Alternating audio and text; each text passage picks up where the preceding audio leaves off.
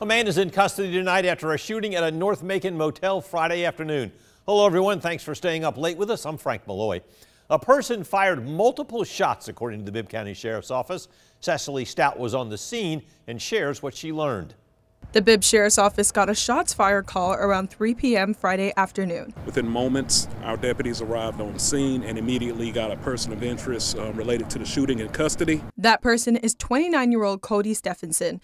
The Sheriff's Office says Stephenson was arguing with two men and it escalated to him shooting at them. This is where we believe the shooting happened. There's one shattered window and one, two, three, four, five, six, seven bullet holes in this door. We noticed there was two people suffering from gunshot wounds. We were able to get paramedics on scene and get those transported to the medical facility where they are reported now having non life threatening injuries. The victims are 25 and 40 years old. Stephenson is at the Bibb County Jail. He's being charged with reckless conduct and two counts of aggravated assault. It was a busy scene with multiple sheriff deputy cars, ambulances, and people wandering around the scene with curiosity and worry. Just concern, very, very much concerned, but as stated, you know, that's what's to be expected when you respond to these type of calls. But it is under control now, and we're working on it to get it close. Isha Andrews grew up in Macon. She says a motel shooting isn't a shock. It'd be a lot of like, I don't want to say homeless,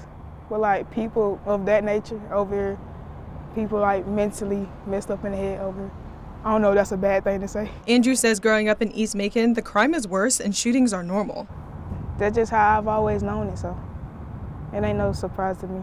In Macon, Cecily Stout, 13 WMAZ News. Sheriff's Office says this is an open investigation. They asked anybody with information to call Macon Regional Crime Stoppers at 1 877 68 Crime.